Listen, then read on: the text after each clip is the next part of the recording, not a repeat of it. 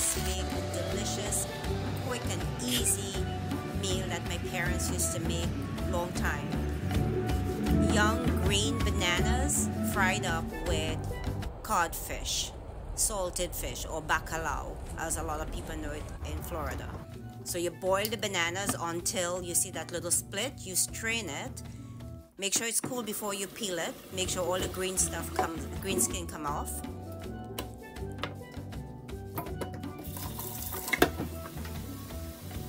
It has to be the young bananas as you see me picking from my tree. That's, that's about two pounds. I, I'm adding the saltfish to make sure the oil is hot. Then I add all of it. You're gonna get that crispy so you know the texture.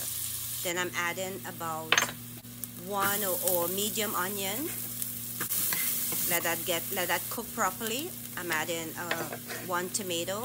And of course I have some hot habanero peppers at the end there. You add the banana and then you can break it up as you go or you leave it whole however you like it. Make sure you add salt but make sure you taste the salt because we already added salted fish. I added a little bit of lime juice just to give it an extra flavor.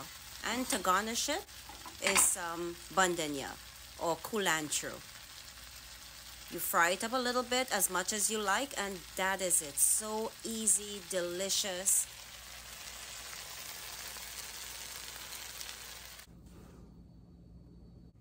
It's young green bananas with bacalao or salted fish or cod as we may call it in Trinidad. But it's so delicious, so yummy. Try it guys and let me know let me know what you think. Anyway, thank you for watching and see you soon.